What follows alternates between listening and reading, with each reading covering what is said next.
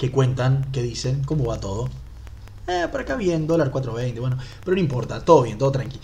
El tema es así, si estás comenzando con Unity y querés hacer que un objeto se conecte directamente con el otro, ¿a qué me refiero? Bueno, me refiero a esto. Vamos a ver.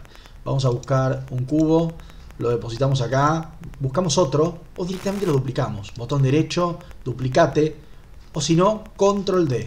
Recuerden, control D de dedo. Tac. Tenemos otro cubo más. Lo movemos hacia la izquierda. Y bueno, y pretendemos que este cubo se conecte con el otro. Bueno, lo podemos acercar un poquitito y más o menos queda. Lo cierto es que si queremos que se conecte de manera exacta, y podemos empezar a probar cosas raras, ver dónde termina uno y dónde empieza el otro, en posición, va a ser difícil. La verdad que va a ser bastante difícil. Así que tenemos una herramienta extremadamente piola que vamos a ver de manera mucho más práctica si nosotros le agregamos un material a estos cubitos. Por ejemplo, uno como este. Ponemos el mismo material en el de al lado. Y si yo lo quiero acercar a mano, voy a poder. Está bien, está todo bien, más o menos va a quedar.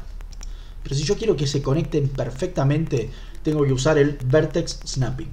¿Cómo es esto? Mantenés apretada la V corta, la V corta de Víctor.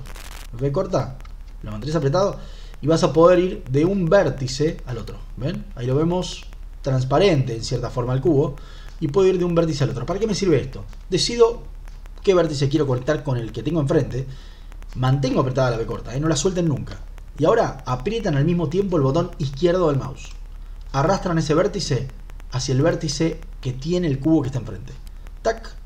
Y se conecta perfecto. ¿Ven? Es una masa. Vamos a duplicar este cubo. Control D. Control D tengo un nuevo cubo, lo llevo hacia arriba y quiero hacer lo mismo. V corta. Me posiciono en este vértice, aprieto el botón izquierdo, y ahí está. Y conecta. ¿Ven? Cuando estoy usando una textura que encima es seamless o es coherente, ni siquiera puedo notar el momento en el que termina un cubo y empieza el otro. La verdad que es fantástico. Obviamente puedo hacer lo mismo hacia la izquierda. Control D para duplicar. Lo llevo más o menos por acá. Y con V corta apretada botón izquierdo apretado, tomo el vértice que tengo a mano y lo conecto con el que tengo enfrente. Y ya está. ¿Ven?